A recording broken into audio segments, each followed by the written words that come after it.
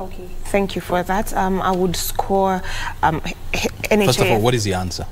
Um, one. No, is it is it responsive? Is it not? It's not responsive. It is not responsive. Yes, it's not responsive. So I give them a one. Um, the issue of accountability comes in very handy. Um, mm -hmm. We've seen that um, the issues of corporate governance, the issues of fraud, mm -hmm. and also the issues of um, corruption. So I would give it a one. So Whitney, you're assigning NHIF one out of five. Uh, what about Prof? Um, is NHIF responsive to Kenya's health needs? I think the only grade which is the least there is one, so I gave it one because no one goes to bed saying they have NHIF. Why I'm trying to say so, mm -hmm. you saw the figures they are showing somebody said that NHIF settled is 75,000 bill.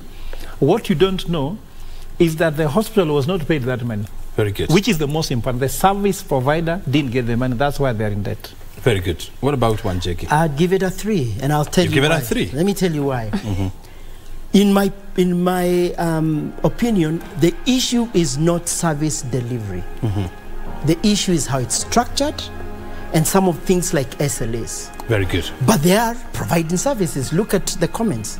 They're providing services and people appreciate it. And shortly we are going to the comments. And then the final question is, is NHIF positioned to deliver the universal health coverage? Let's start with uh, Prof. Yes, the main intention that without health financing, you cannot deliver universal health coverage.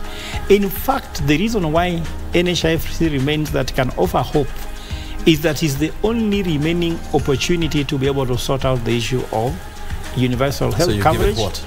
Uh, I'll give it a three. You give it a three. Yeah, it is positioned. Positioned. It is positioned. Whether it is delivering another story. Very good. Whitney. Um, currently, as we speak, I would give it a two. It is um, positioned as Prof said, mm -hmm. but um, the current management is they're, they're not doing the job. Very good. Yes. One jiggy. Positioned three, structure. Three. Yes, issue of structure and management. Mm -hmm. So you're also giving it three. Yeah. You're agreeing with Prof. I'm pro for the first time we agree. Very good. Uh, so I think um, you know when we do an aggregate of. Uh, you know, you're scoring, it, it, it looks like a yes, um, you know, in terms of possession, uh, you, all the three of you, you do agree that uh, NHIF is well positioned to deliver the UHC. But when it comes to whether NHIF is responsive to Kenya's health needs, this is where um, the numbers uh, don't look very good. We now want to go to the scoreboard so that we can hear people's responses from Marie. Mm. Indeed, O'Brien, we have very many responses tonight. We might not be able to read all of them, but all, um, uh, nevertheless, we really are grateful that you've been able to take your time and really interact with us. Now, Job Mutanda on Facebook is saying, not all, in fact, since 2011, we were being deducted uh, 300 uh, shillings. This is something to do with the uh, one of the companies anyway.